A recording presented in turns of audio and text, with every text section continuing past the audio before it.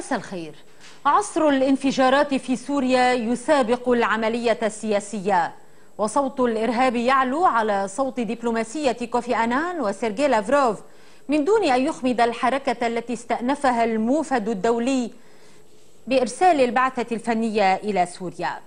ومع وصول بعثة أنان الفنية إلى دمشق كانت مداخل العاصمة السورية على موعد آخر مع أعنف اشتباكات على أبواب الشام إذ أفيد عن أصوات انفجارات وتبادل لإطلاق النار بين عملية تبناها الجيش السوري الحر معلنا وقوع إصابات في صفوف جيش النظام بينهم 18 جريحا في المزة. وقال مرتضى رشيد المتحدث باسم مجلس قيادة الثورة في دمشق إن هذه العمليات تسهم في حجز قوات كبيرة من النظام في العاصمة لتخفيف الضغط عن المناطق المحاصرة.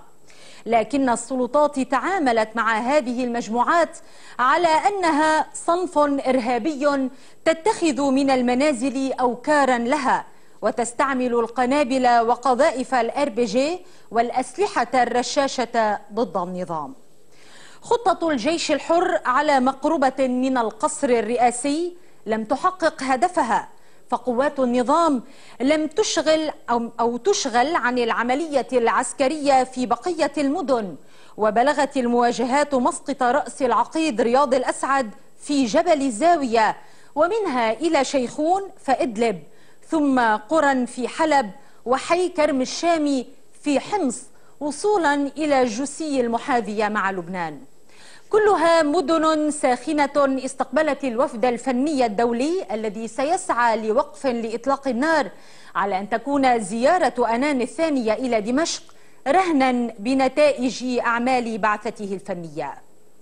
وترحيبا بالبعثة أعلن أسطول البحر الأسود الروسي أن الناقلة إيمان وسفينة الاستكشاف إكفاتور وصلتا إلى السواحل السورية في طرطوس وعلى متنها مجموعة مكافحة الإرهاب وكتيبة إنزال بحري اقتحامية تابعة للواء مشاة البحرية. تلك عينة عسكرية متواضعة من الأسطول الروسي تعوض مرحليا الشغور الدبلوماسي الراهن لسيرجي لافروف الذي يترك فرصة العمل لكوفي أنان علما أن الطرفين على الخطى نفسها ويتشاركان في الأفكار عينها فيما خص الحل السياسي للأزمة السورية.